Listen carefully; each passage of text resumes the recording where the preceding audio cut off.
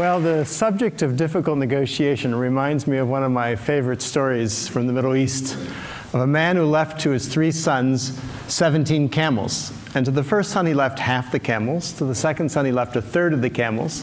And to the youngest son, he left a ninth of the camels. Well, three sons got into a negotiation. 17 doesn't divide by two. It doesn't divide by three. It doesn't divide by nine. Brotherly temper started to get strained. Finally, in desperation, they went and they consulted a wise old woman. The wise old woman thought about their problem for a long time, and finally she came back and said, Well, I don't know if I can help you, but at least if you want, you can have my camel. So then they had 18 camels. The first son took his half, half of 18 is nine. The second son took his third, a third of 18 is six. The youngest son took his ninth, a ninth of 18 is two. You get 17. They had one camel left over. They gave it back to the wise old woman. Now, if you think about that story for a moment, I think it resembles a lot of the difficult negotiations we get involved in. They start off like 17 camels, no way to resolve it. Somehow, what we need to do is step back from those situations, like that wise old woman, look at the situation through fresh eyes, and come up with an 18th camel. Now, finding that 18th camel in the world's conflict has been my life passion. I basically see humanity a bit like those three brothers. We're all one family. We know that scientifically. Thanks to the communications revolution, all the tribes on the planet, all 15,000 tribes, are in touch with each other. And it's a big family reunion. And yet, like many family reunions, it's not all peace and light. There's a lot of conflict. And the question is how do we deal with our differences? How do we deal with our deepest differences given the human propensity for conflict and the human genius at devising weapons of enormous destruction? That's the question. As I've spent the last better part of three decades, almost four, traveling the world, trying to work, getting involved in conflicts ranging from Yugoslavia to the Middle East to Chechnya to Venezuela, some of the most difficult conflicts on the face of the planet, I've been asking myself that question. And I think I've found, in some ways, what is the secret to peace. It's actually surprisingly simple. It's not easy, but it's simple. It's not even new. It's maybe our, one of our most ancient human heritages. The secret to peace is us. It's us who act as a surrounding community around any conflict who can play a constructive role. Let me give you just a story, an example. About 20 years ago, I was in South Africa working with the parties in that conflict, and I had an extra month, so I spent some time living with several groups of San Bushmen. I was curious about them, about the way in which they resolve conflict. Because after all, they're within living memory, they were hunters and gatherers living pretty much like our ancestors lived for maybe 99% of the human story. And all the men have these poison arrows that they use for hunting, absolutely fatal. So, how do they deal with their differences? Well, what I learned is whenever tempers rise in those communities, someone goes and hides the poison arrows out in the bush. And then everyone sits around in a circle like this, and they sit and they talk. And they talk. It may take two days, three days, four days, but they don't rest until they find a resolution or better yet, a reconciliation. And if tempers are still too high, then they send someone off to visit some relatives. There's a cooling off period. Well, that system is, I think, probably the system that kept us alive to this point, given our human tendencies. That system I call the third side. Because if you think about it, normally when we think of conflict, when we describe it, there's always two sides. You know, it's Arabs versus Israelis, labor versus management, husband versus wife, Republicans versus Democrats. But what we don't often see is that there's always a third side. And the third side of the conflict is us. It's the surrounding community, it's the friends, the allies, the family members, the neighbors. And we can play an incredibly constructive role. Perhaps the most fundamental way in which the third side can help is to remind the parties of what's really at stake you know, for the sake of the kids, for the sake of the family, for the sake of the community, for the sake of the future, let's stop fighting for a moment and start talking. Because the thing is, when we're involved in conflict, it's very easy to lose perspective. It's very easy to react. Human beings, we're reaction machines. And as the saying goes, when angry, you will make the best speech you will ever regret. And so the third side reminds us of that. The third side helps us go to the balcony, which is a metaphor for a place of perspective where we can keep our eyes on the prize. Let me tell you a little story from my own negotiating experience. Some years ago, I was involved as a facilitator in some very tough talks between the leaders of Russia and the leaders of Chechnya. There was a war going on, as you know. And we met in The Hague, in the Peace Palace, in the same room where the Yugoslav War Crimes Tribunal was taking place. And the talks got off to a rather rocky start when the vice president of Chechnya began by pointing at the Russians and said, You should stay right here in your seats because you're going to be on trial for war crimes. And then he went on, and then he turned to me and said, You're an American. Look at what you Americans are doing in Puerto Rico. And my mind started racing. Puerto Rico, what do I know about Puerto Rico? I started reacting. But then I tried to remember to go to the balcony. And then when he paused and everyone looked at me for a response, from a balcony perspective, I was able to thank him for his remarks and say, I appreciate your criticism of my country, and I take it as a sign that we're among friends and can speak candidly to one another. And what we're here to do is not to talk about Puerto Rico or the past. We're here to do is to see if we can figure out a way to stop the suffering and the bloodshed in Chechnya. The conversation got back on track. That's the role of the third side, is to help the parties go to the balcony. Now let me take you for a moment to what's widely regarded as the world's most difficult conflict, and the most impossible conflict, is the Middle East. Question is, where's the third side there? How could we possibly go to the balcony? Now, I don't pretend to have an answer to the Middle East conflict, but I think I've got a first step, literally a first step, something that any one of us could do as third siders. Let me just ask you one question first. How many of you in the last years have ever found yourself worrying about the Middle East and wondering what anyone could do? Just, just out of curiosity, how many of you? Okay, so the great majority of us. And here, it's so far away. Why do we pay so much attention to this conflict? Is it the number of deaths? There are 100 times more people who die in a conflict in Africa than in the Middle East. No, it's because of the story, because we feel personally involved in that story. Whether we're Christians, Muslims, or Jews, religious or non religious, we feel we have a personal stake in it. Stories matter. As an anthropologist, I know that.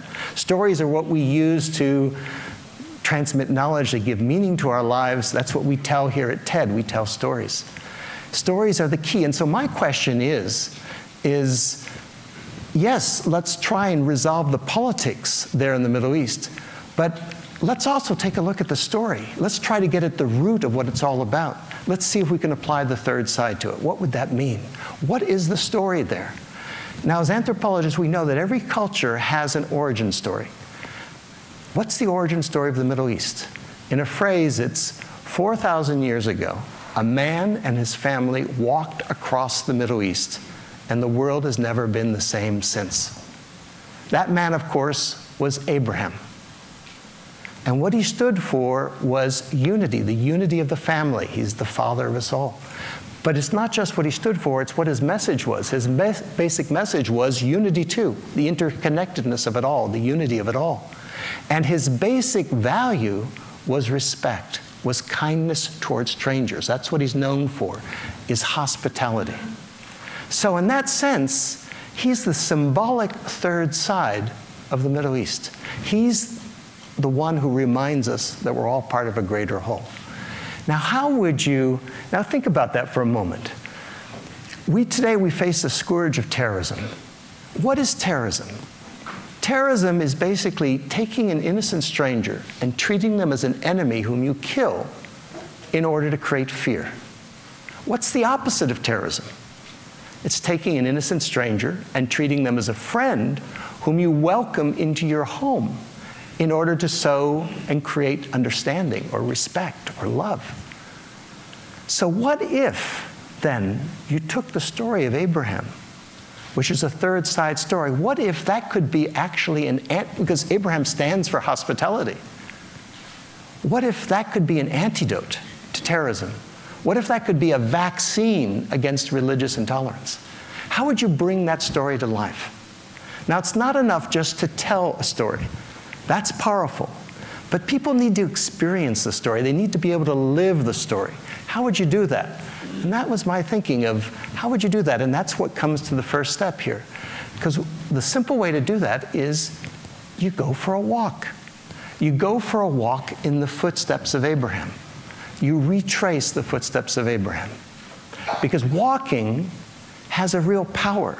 You know, as an anthropologist, walking is what made us human. Walking, it's funny, when you walk, you walk side by side in the same common direction. Now, if I were to come to you face to face and come this close to you, you would feel threatened. But if I walk shoulder to shoulder, even touching shoulders, it's no problem. Who fights while they walk? That's why in negotiations often, when things get tough, people go for walks in the woods. So the idea came to me of what about inspiring a path, a route? Think the Silk Route, think the Appalachian Trail that followed in the footsteps of Abraham. People said, that's crazy, you can't. You can't retrace the footsteps of Abraham. It's too insecure. You got to cross all these borders. It goes across 10 different countries in the Middle East because it unites them all. And so we studied the idea at Harvard. We did our due diligence. And then a few years ago, a group of us, about 25 of us from 10 different countries, decided to see if we could retrace the footsteps of Abraham, going from his original birthplace in the city of Urfa in southern Turkey, northern Mesopotamia, and we then took a bus and took some walks and went to Haran, where in the Bible he sets off on his journey. Then we crossed the border into Syria, went to Aleppo, which turns out is named after Abraham. We went to Damascus, which has a long history associated with Abraham. We then came to northern Jordan, to Jerusalem, which is all about Abraham, to Bethlehem, and finally to the place where he's buried in Hebron. So effectively, we went from womb to tomb. We showed it could be done. It was an amazing journey. Let me ask you a question. How many of you have had the experience of being in a strange neighborhood or strange land, and a total stranger, perfect stranger, comes up to you and shows you some kindness, maybe invites you into their home, gives you a drink, gives you a coffee, gives you a meal? How many of you have ever had that experience? That's the essence of of the Abraham path. That's what you discover as you go into these villages in the Middle East where you expect hostility, and you get the most amazing hospitality, all associated with Abraham. In the name of Father Ibrahim, let me, let me offer you some food. So, what we discovered is that Abraham is not just a figure out of a book for those people, he's alive, he's a living presence.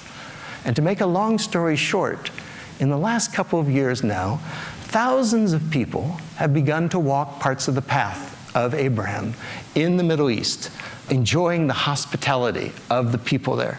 They've begun to walk in Israel, in Palestine, in Jordan, in Turkey, in Syria. It's an amazing experience. Men, women, young people, old people, more women than men, actually, interestingly. For those who can't walk, uh, who are unable to get there right now, people started to organize walks in cities, in their own communities. In Cincinnati, for instance, they organized a walk from a church to a mosque to a synagogue and then all had an Abrahamic meal together. It was Abraham Path Day. In Sao Paulo, Brazil, it's become an annual event for thousands of people to run in a virtual Abraham Path run, uniting the different communities. The media love it. They really adore it. They lavish attention on it uh, because it's visual and it spreads the idea, this idea of Abrahamic hospitality, of kindness towards strangers. And uh, just a couple weeks ago, there was an NPR story on it. Uh, last month, there was a, a, piece in the, in the Guardian, uh, in the Manchester Guardian, uh, about it, two, two whole pages. Uh, and they quoted a, quoted a villager who said, This walk connects us to the world. Was, he said it was like a light that went on in our lives, it brought us hope. And so that's what it's about. But it's not just about psychology, it's about economics. Because as people walk, they spend money. And this woman right here, Um Ahmad, is a woman who lives on the path in northern Jordan. Uh, she's desperately poor. She's partially blind. Her husband uh, can't work. She's got seven kids. But what she can do is cook. And so she's begun to cook for some groups of walkers who come through the village. And have a meal in her home. They sit on the floor. She doesn't even have a tablecloth. She makes the most delicious food that's fresh from the herbs in the surrounding countryside. And so more and more walkers have come. And lately, she's begun to earn an income to support her family. And so she told our, our team there, she said, You have made me visible in a village where people were once ashamed to look at me. That's the potential of the Abraham Path. There are literally hundreds of those kind of communities across the Middle East, across the path. The potential is basically to change the game. And to change the game, you have to change the frame, the way we see things, to change the frame from hostility to hospitality, from terrorism to tourism. And in that sense, the Abraham Path is a game changer. Let me just show you one thing. I have a little acorn here that I picked up while I was walking on the path earlier this year. Now, the acorn is associated with the oak tree, of course, grows into an oak tree, which is associated with Abraham. The path right now is like an acorn, it's still in its early phase. What would the oak tree look like? Well, I think back to my childhood, a good part of which I spent after being born here in Chicago, I, spent in Europe. If you had been in the ruins of, say, London in 1945 or Berlin, and you had said 60 years from now, this is going to be the most peaceful, prosperous part of the planet, people would have thought you were certifiably insane. But they did it thanks to a common identity, Europe, and a common economy. So, my question is if it could be done in Europe, why not in the Middle East? Why not, thanks to a common identity, which is the story of Abraham, and thanks to a common economy that would be based in good part on tourism. So let me conclude then by saying that in the last 35 years, as I've worked in some of the most dangerous, difficult, and intractable conflicts around the planet, I have yet to see one conflict that I felt could not be transformed. It's not easy, of course, but it's possible. It was done in South Africa, it was done in Northern Ireland. It could be done anywhere. It simply depends on us. It depends on us taking the third side. So let me invite you to consider taking the third side, even as a very small step. We're about to take a break in a moment. Just go up to someone who's from a different culture, a different country, a different ethnicity, some difference, and engage them in a conversation. Listen to them. That's a third side act. That's walking Abraham's path. After a TED talk, why not a TED walk? so let me just leave you with three things. One is the secret to peace is the third side. The third side is us. Each of us, with a single step, can take the world, can bring the world a step closer to peace. There's an old African proverb that goes When spider webs unite, they can halt even the lion. If we're able to unite our third side webs of peace, we can even halt the lion of war. Thank you very much.